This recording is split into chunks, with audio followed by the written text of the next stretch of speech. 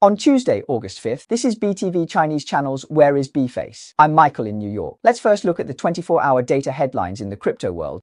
Yesterday, Bitcoin fell below the $50,000 mark twice during the day, reaching a low of $49,103.98 USD, with a 24-hour decline expanding to 18.2%. Initially, the market was worried that Bitcoin would continue to drop after the US stock market opened in the evening, but instead, it started to rise after 9:30. By noon today, Bitcoin had climbed back above $55,000 USD, and Ethereum also returned to around the $2,500 USD mark. So now, the Bitcoin market lacks lacks internal demand and capital to drive the market, mainly relying on funds brought in by traditional Web 2.0 institutions. Therefore, the recent macro situation has been turbulent and a global economic. Recession seems to have become the main theme of the market. Additionally, local conflicts in Europe and the Middle East are becoming increasingly intense. As a result, in the near future, global venture capital firms' funds are expected to enter a short-term risk aversion and contraction cycle, and improvement will likely only occur after interest rate cuts. All right, let's take another look at the net position positions on exchanges over the past two weeks, which have been continuously falling within the positive range. The market fear and greed index hit a low of 26 yesterday. So why are net positions still in the positive range, indicating more bullish users? Because the short-term drop was too fast and too sharp, the market hasn't had time to react. By the time it does, it's already in the low price range. So, although there are panic-driven sell-offs at this time, most people's first reaction is to quickly buy the dip, replenish their positions, or even open long positions. Therefore, the exchange's net position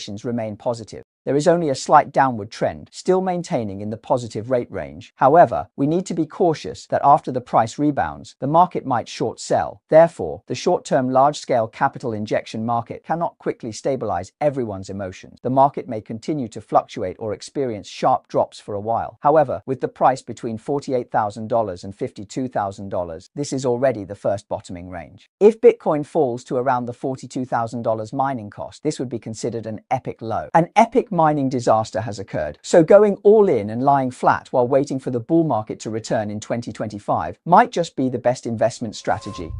Alright, please turn on the little bell and like us as we help you sort through the craziest news in the crypto, blockchain, and mining circles over the past 24 hours in the Web3 world. The big topic these days is, of course, the massive crash. I'm currently in New York, and this week is Stanford University's Blockchain Week, where many industry, and academic elites are gathering to discuss the future of the Web3 world.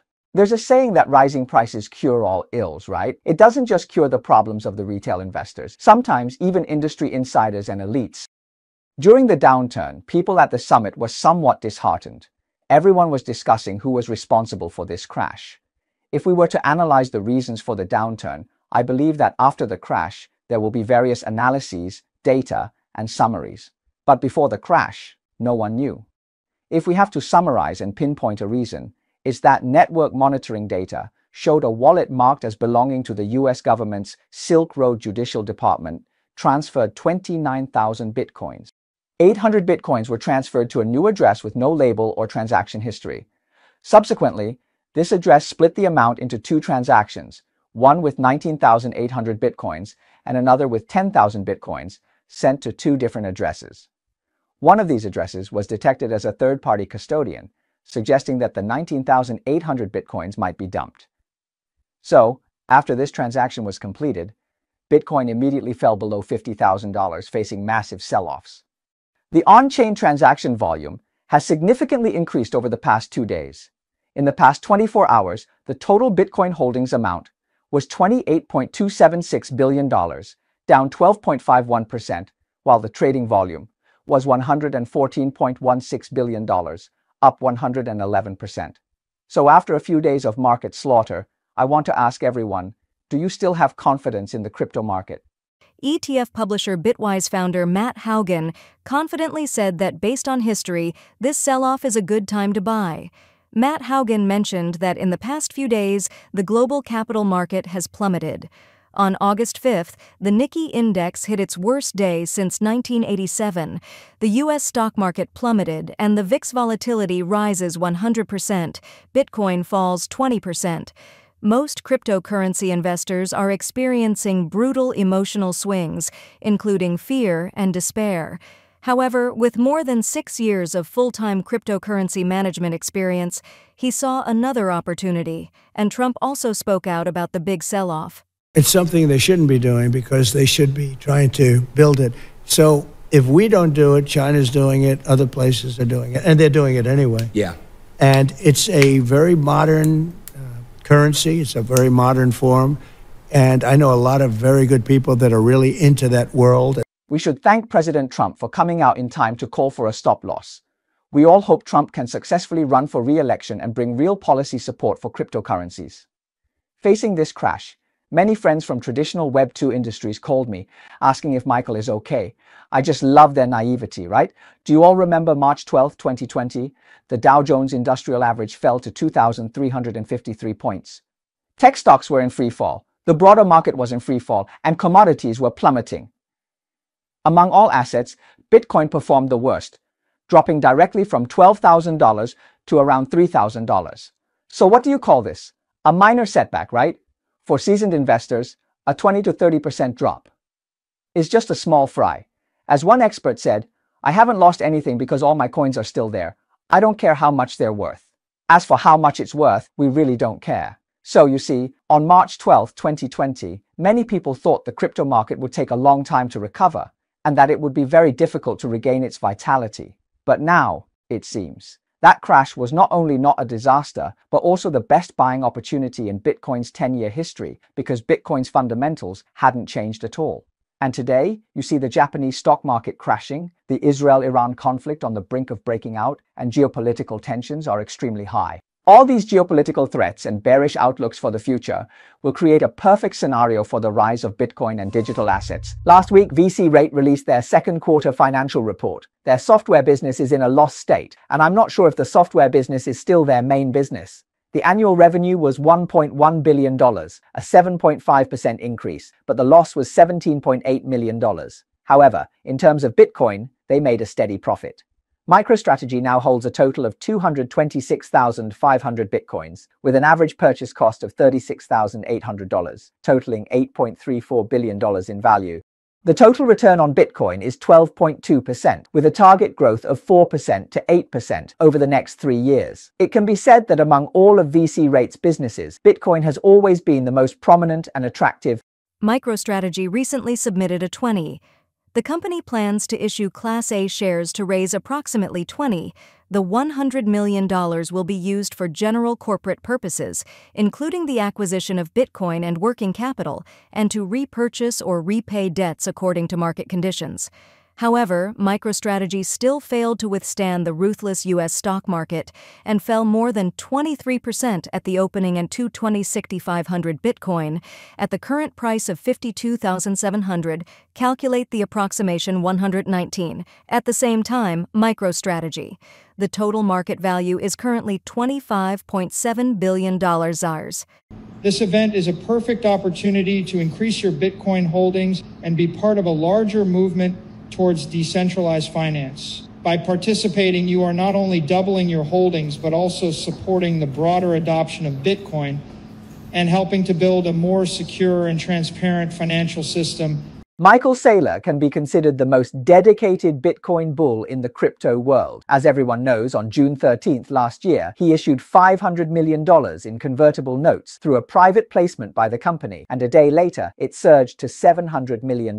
What was the purpose? To raise cash, to accumulate Bitcoin. So during this major crash, MicroStrategy didn't sell a single Bitcoin, truly deserving of the title of a die-hard bull. All right, welcome back. This is the Bitcoin TV Chinese channel, and I'm Michael.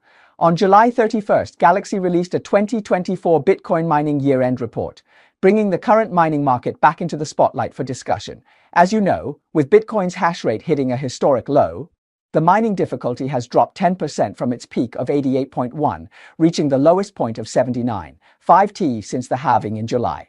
At the same time, in the first quarter of 2024, publicly listed mining companies raised a total of $1.8 billion in equity, which is quite substantial, setting a three-year record for fundraising. So this report presents a thriving picture of the mining industry and optimistically predicts that capital markets may return to mining in the second half of 2024 and 2025. Will the spring of mining come again? In the past, mining always faced various criticisms from environmentalists, but with the use of clean energy, the situation has started to change. This weekend, OMI will lead our members to various mining sites in North America to explore the possibility of conducting mining operations in the United States. In the first quarter of 2024, listed mining companies raised a total of $1.8 billion in equity, setting a record for the highest amount raised in a single quarter in the past three years. AI and HPC. With the support of the latest generation of Bitcoin mining machines, after removing the cost of electricity, each megawatt has nearly 85 hours with a gross profit margin of $100 billion facing such an exaggerated computing scale, more hybrid mining companies will emerge in the future. In a recent interview with Dwarkesh podcast, Mark Zuckerberg pointed out that there are no gigawatt data centers yet, and the key now is to ensure energy, which is the biggest bottleneck in the competition for AI supercomputers. We believe that energy generation at the edge, whether it's solar, whether it's um, burning methane gas uh, on landfills or, or, whatever the energy source may be, uh, is a way that this is going to work in the future. As Fred Thiel mentioned, traditional mining companies have a very high demand for energy. You need to understand that every cent decrease in electricity costs represents an increase in mining profits. However, electricity costs in the United States just won't come down. It's compliant, it's safe, it's stable, but the electricity costs are high, possibly as high as 0.8 cents or 0.7 cents and above. So now, the integration of AI and HPC with traditional Bitcoin mining is considered a new attempt in the mining sector. It could mean that many mining operations will look to leverage powerful new economies economies to reduce sensitivity to electricity costs. Of course, so far the mining industry is still dominated by electricity. Whoever has cheaper electricity holds the absolute high ground in mining.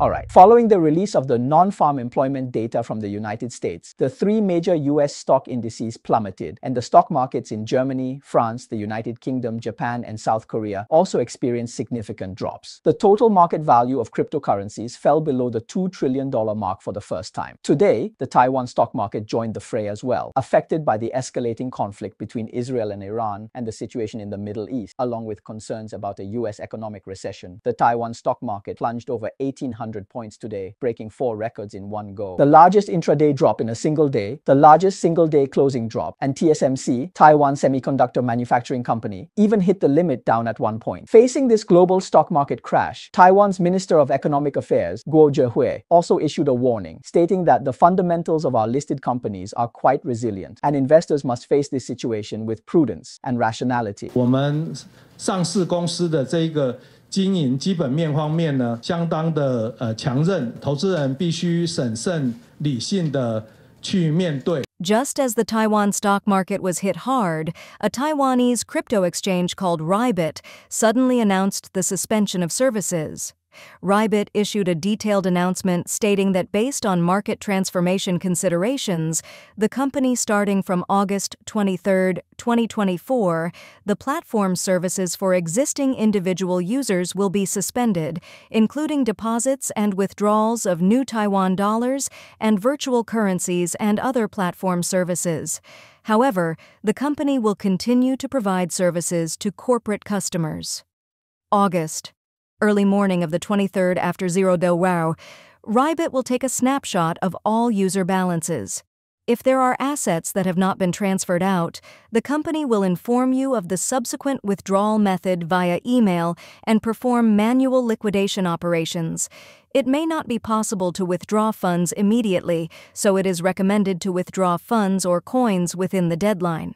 Rybit received a fine of 1.02 million new Taiwan dollars from the Taiwan Financial Supervisory Commission on August 1st for violating anti-money laundering laws and personal data collection regulation. Is the current withdrawal of individual users related to this? We are not quite sure, but the current situation in Taiwan is that the Taiwan stock market is experiencing an outflow of funds and Taiwan's economy is somewhat affected. Stabilizing the situation seems to be the trend now. Taiwanese investors are eagerly anticipating the National Stabilization Fund to step in and rescue the market, stabilizing public sentiment I saw a post analyzing things for everyone. Take a look and see if you agree with what it says. It says that Capital tells you not to drink overnight tea, but iced tea can be drunk even after 12 months. It says not to eat overnight food. But what about pre-made food? We can't avoid it for 365 days a year. We're always eating it. It says Capital can make people lose their conscience. $3 can buy a good review. $30 can make a delivery guy bring you food in freezing weather. $300 can make someone's father carry cement up 30 floors. And $3,000 can make someone give up their daughter they've raised for 18 years. Sitting obedient obediently next to you. 300,000 can easily end your true love. So when people attribute all these social problems to capital,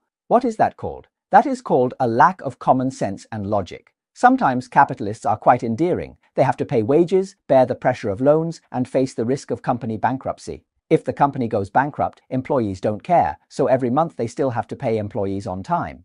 Without the efforts of capitalists, where would your salary come from? So everyone shouldn't place all the blame on capital. While capital can sometimes do harm, compared to the harm of power, it leaves you with nowhere to hide. All right, you can like this post now. It includes all the membership benefits. We hope to lead all our members to gradually become wealthy during this bull market, increasing our Bitcoin holdings. See you tomorrow.